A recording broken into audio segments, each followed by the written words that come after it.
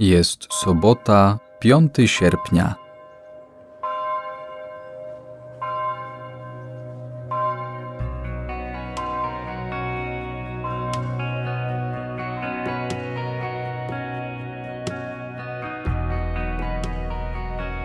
Przypomnij sobie moment, gdy posłuchałeś dobrej, mądrej rady kogoś zaufanego, dzięki czemu uniknąłeś cierpienia, krzywdy, błędu, pojawiło się dla ciebie jakieś dobro.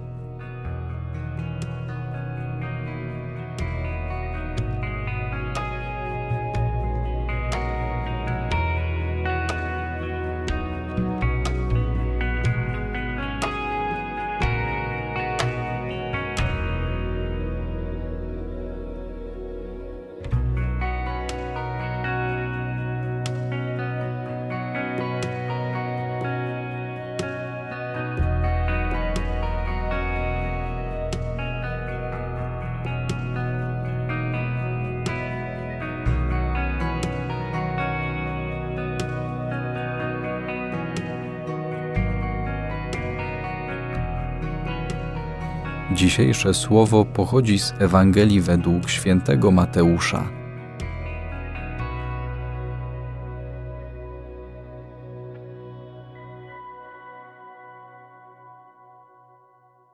W owym czasie doszła do uszu tetrarchy Heroda wieść o Jezusie i rzekł do swych dworzan: To Jan Chrzciciel. On powstał z martwych i dlatego moce cudotwórcze w nim działają. Herod bowiem kazał pochwycić Jana i związanego wtrącić do więzienia z powodu Herodiady, żony brata jego Filipa. Jan bowiem upominał go. Nie wolno ci jej trzymać. Chętnie też byłby go zgładził, bał się jednak ludu, ponieważ miano go za proroka. Otóż, kiedy obchodzono urodziny Heroda, tańczyła wobec gości córka Herodiady i spodobała się Herodowi. Zatem pod przysięgą obiecał jej dać wszystko, o cokolwiek poprosi. A ona przedtem już podmówiona przez swą matkę powiedziała Daj mi tu na misie głowę Jana Chrzciciela. Zasmucił się król. Lecz przez wzgląd na przysięgę i na współbiesiadników kazał jej dać. Posławszy więc kata, kazał ściąć Jana w więzieniu. Przyniesiono głowę jego na misie i dano dziewczynie, a ona zaniosła ją swojej matce. Uczniowie zaś Jana przyszli, zabrali jego ciało i pogrzebali je. Potem poszli i donieśli o tym Jezusowi.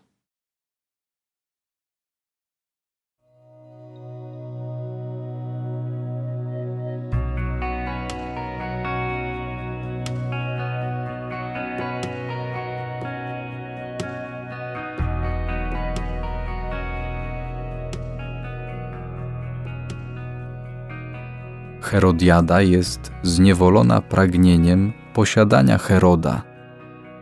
Traktuje siebie i swoją córkę instrumentalnie, nie widzi jej. Herodiada i Herod pozostają na swój sposób uwięzieni. Nie stawiają granicy destrukcyjnym myślom, uzależnieniu. Tymczasem Bóg, jako troskliwy ojciec, widzi wszystkich nas jest zainteresowany naszym dobrem i pragnie dla nas wewnętrznego wyzwolenia. Jak Ty się zmagasz z pokusami w Twoim życiu?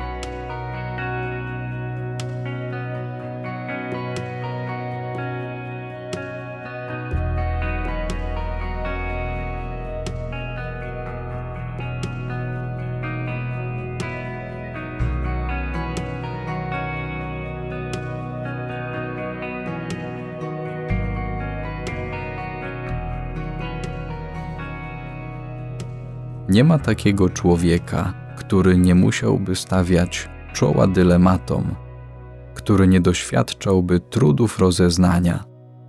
Zmagamy się z pokusami i słabościami bez względu na status społeczny. Król Herod jest zniewolony pragnieniem posiadania żony swojego brata. Bóg wysyła do niego swojego dobrego proroka, Jana, który staje się dla Heroda boskim ambasadorem, pomocnikiem. Kto jest dla ciebie takim ambasadorem Boga?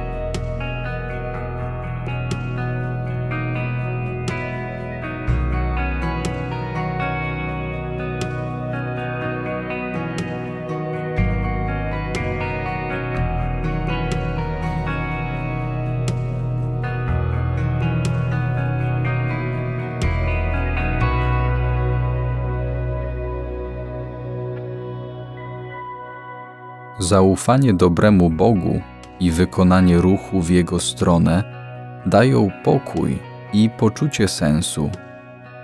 Mimo oddalenia się od Boga czy Jego odrzucenia, On pozostaje nadal otwarty na powrót zarówno Herodiady, Heroda, jak i każdego z nas.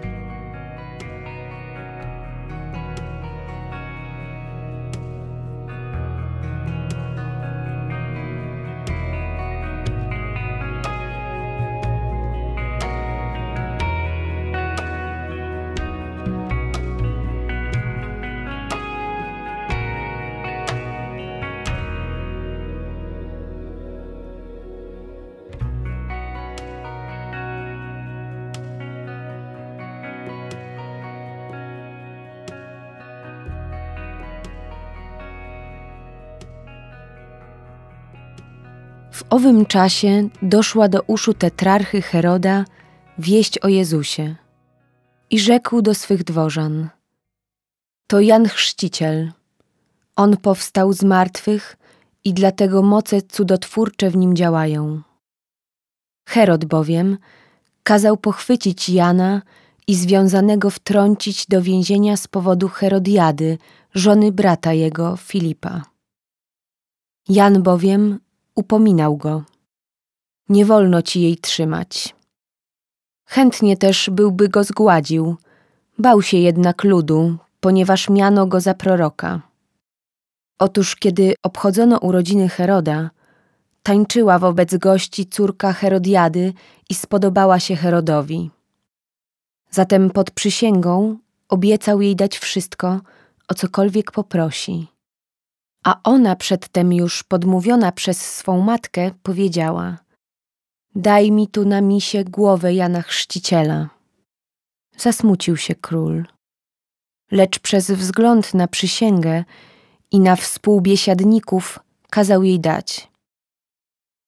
Posławszy więc kata, kazał ściąć Jana w więzieniu. Przyniesiono głowę jego na misie i dano dziewczynie, a ona zaniosła ją swojej matce. Uczniowie zaś Jana przyszli, zabrali jego ciało i pogrzebali je.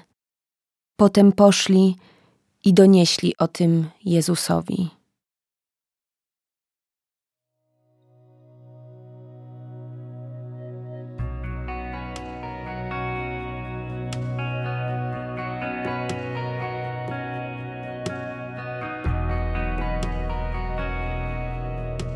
Porozmawiaj z Jezusem o Twojej wolności i o Twoich wyborach.